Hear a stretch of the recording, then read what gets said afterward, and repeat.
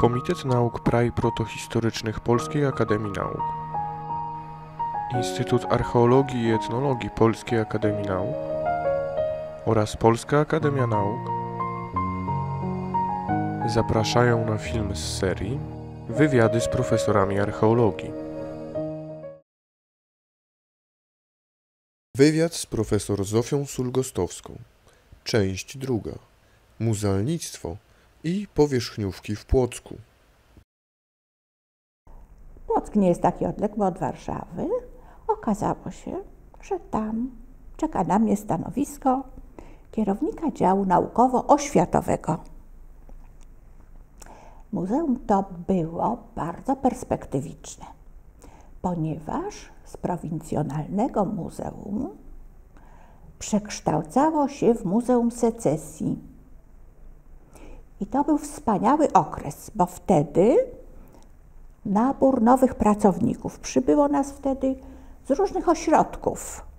E, historyk sztuki, mm, Anna Szuba z Poznania, e, z Torunia, e, konserwatorzy. Wobec czego stworzyliśmy zespół młodych ludzi. No jak są młodzi ludzie, no to oczywiście jest mm, ruch i różne wydarzenia. Nikt z nas nie miał tam mieszkania. Mm, mieszkałam najpierw w hotelu, w domu turysty.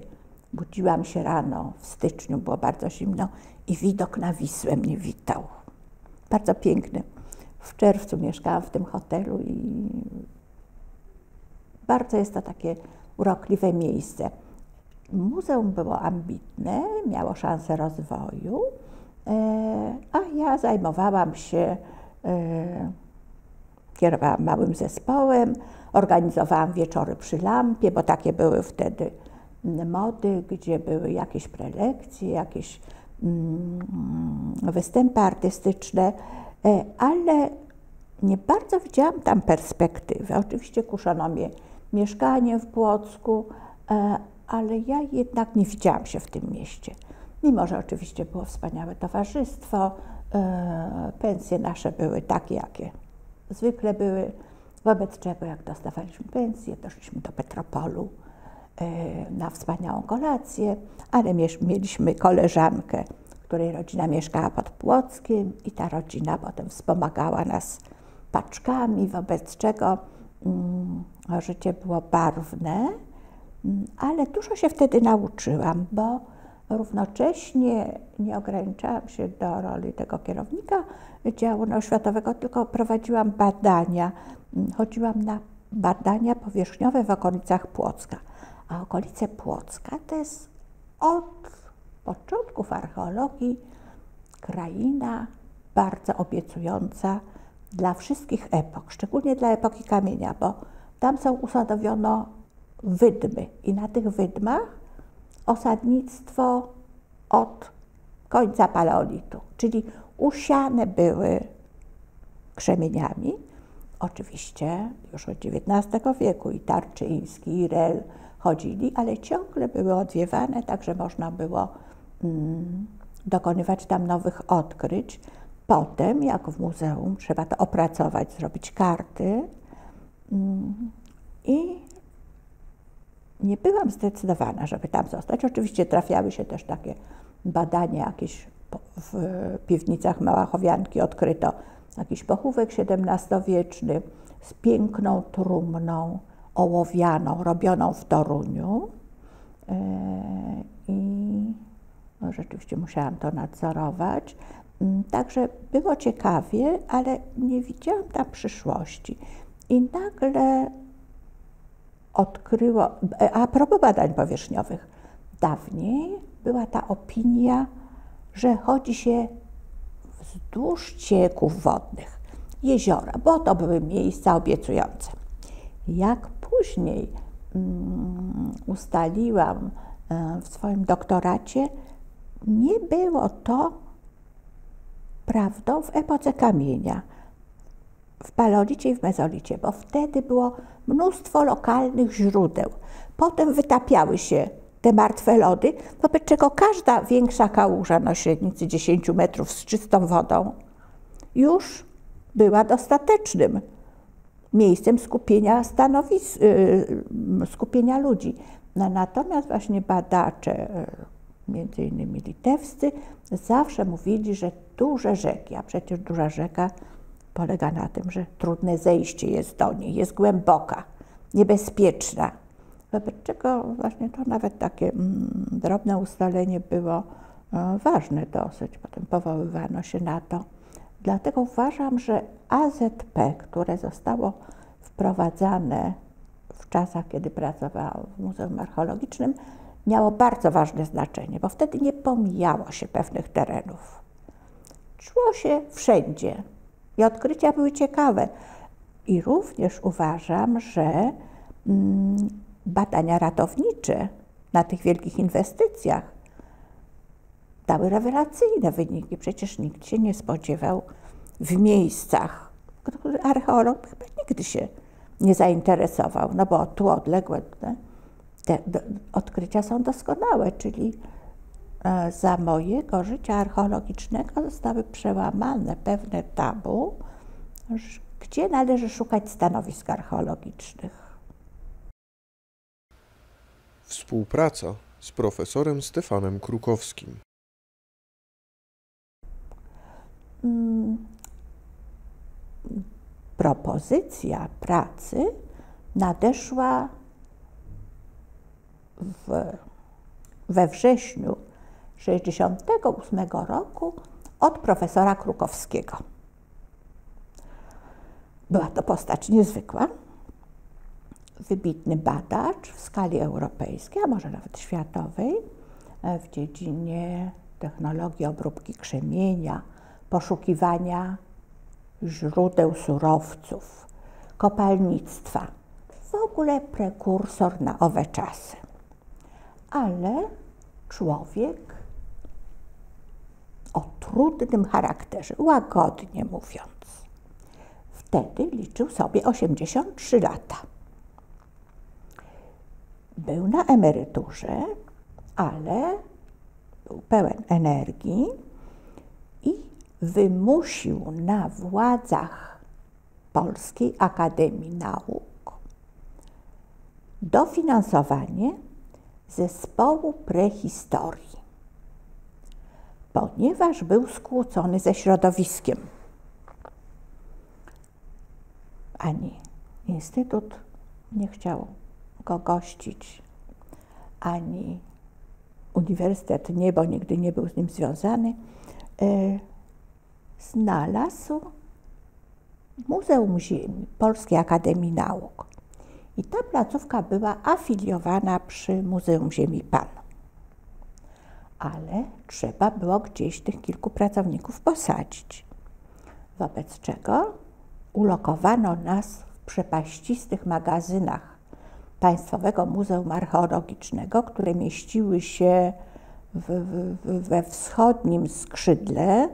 Były to bardzo wysokie sale, obstawione regałami zbitymi z surowych desek, które miały kilka poziomów. Ja nie te sale mają, no nie wiem, 4, 5, 5 chyba metrów, do czego dostanie na ostatni półkę było trudne, ale w każdym razie i w tym czasie w muzeum nie było żadnego specjalisty od starszej i środkowej epoki kamienia, czyli paleolitu i mezolitu. Nie wiem, tak się złożyło, że mimo zbiorów ogromnych, bardzo cennych, wybitnych, które pochodziły z Polski centralnej, ale równocześnie z badań e, na wschodzie e, II Rzeczpospolitej i to były badania wykopaliskowe, prowadzone bardzo dobrze, jakoś nie widziano potrzeby. No, zaczęliśmy pracę. Zostałam przyjęta ja, pani Jolanta Janiec i pan Marek Młynarski i mój kolega z roku, Maciej Czarnecki. Profesor uważał, że powinni pracownicy być dobrze wynagradzani. Zdobył dla nas etaty starszego asystenta. Ale muzeum też nie chciało wiązać się tyloma pracownikami, wobec czego byliśmy zatrudnieni na 3 czwarte etatu. Czyli od roku 70, nie, od roku 69 y, pracowałam w systemie, który dopiero potem został wprowadzony. Czyli mieliśmy wolne soboty, co było bardzo wygodne. Y, I głównie inwentaryzowaliśmy zbiory, te przepaściste zbiory, które były przemieszczane z różnych miejsc w Warszawie. Magazyny były na ulicy Szwoleżerów. E, potem to się przeprowadzało, co powodowało tym, że pewne zabytki, bardzo kluczowe, mm, zbiory z Góry Puławskiej zostały znalezione w pudełku e, z materiałami z epoki brązu na przykład, czy brakujące zabytki z Janisławic, czyli było tam dużo roboty. I to był okres wspaniały, ponieważ wtedy ja się nauczyłam krzemienia w sposób, który pozwolił mi pracować z materiałami na całym świecie. Ta znajomość, bo jak się pozna reguły, jak się ma warsztat, to czy jest to inny surowiec w Afryce, no, czy powiedzmy w Rosji, y, można pracować z tym tak, dodając nowe informacje. Także to był bardzo ważny okres, ale równocześnie profesor dbał o to, żebyśmy jeździli w teren. Wobec czego wysyłał nas na badania powierzchniowe. Na badania powierzchniowe wzdłuż Bugu Bóg oczywiście, ogromne wydmy. No i ja kierowałam tym zespołem. Oczywiście nie wszyscy jeździli. Jeżeli ktoś uszkodził sobie kolano, to był wyłączony i już nigdzie nie jeździł na wykopaliska ani w teren. Profesor miał swoje zasady. E, potem dbał, żebyśmy jeździli do badaczy, których cenił, e, na wykopaliska. I to też była okazja do poznania ciekawych ludzi, dobrych badaczy, którzy przeszli szkołę profesora na Rydnie, bo on tam szkolił wszystkich. I do tych badaczy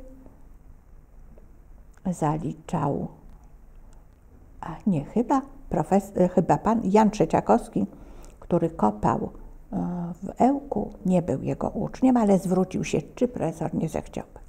No więc właśnie mm, e, pan Jan, doktor Jan Trzeciakowski, potem do Michała Kobusiewicza, który już był uczniem, do pani Haliny Mackiewicz, która prowadziła wspaniałe prace e, w, na w Chełmszczyźnie, w okolicach Nieborowej. I to były naprawdę bardzo dobre badania, bo jako studenci oczywiście byliśmy szkoleni dobrze i prowadziliśmy pewne odcinki wykopu. Na przykład świetnie wspominam pierwszą praktykę u pana e, Miśkiewicza, Mm, który wykładał nam podstawy terenowej archeologii, a potem znaleźliśmy się w Miszewku Strzałkowskim koło Płocka e, i kopaliśmy stanowisko, gdzie były jamy